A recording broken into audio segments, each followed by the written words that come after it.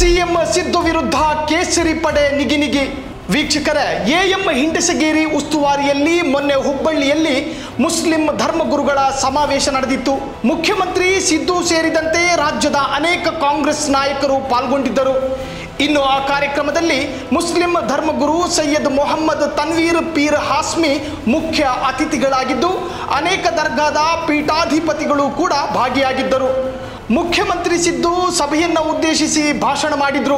ಇನ್ನು ಆ ಭಾಷಣದ ಕೆಲ ಸಾಲುಗಳು ಮಾತ್ರ ಭಾರಿ ವಿವಾದವನ್ನೇ ಎಬ್ಬಿಸಿ ಬಿಟ್ಟಿತ್ತು. ಹತ್ತು ಸಾವಿರ ಕೋಟಿ ರೂಪಾಯಿಗಳನ್ನ ಅಲ್ಪಸಂಖ್ಯಾತ ವಿಭಾಗಕ್ಕೆ ಖರ್ಚು ಮಾಡಬೇಕು ಅಂತಕ್ಕಂಥದ್ದು ನಮ್ಮ ಉದ್ದೇಶ. ಅದರಿಂದ ಈ ದೇಶದ ಸಂಪತ್ತನ್ನು ನಿಮಗೂ ಹಂಚತಕ್ಕಂಥ ಕೆಲಸವನ್ನು ಮಾಡ್ತೇನೆ.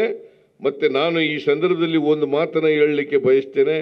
ನಿಮಗೆ ಯಾವ ಕಾರಣಕ್ಕೂ ಕೂಡ ಅನ್ಯಾಯ ಆಗಲಿಕ್ಕೆ ಬಿಡಲ್ಲ. ಇವ್ರ ಮೇಲೂ ಅವ್ರ ಕೀಳು ಅಂತಕ್ಕಂಥ ಪ್ರಶ್ನೆ ಇಲ್ವೇ ಇಲ್ಲ ನಮ್ಮ ಸರ್ಕಾರದಲ್ಲಿ. ಎಲ್ಲರೂ ಸಮಾನರು.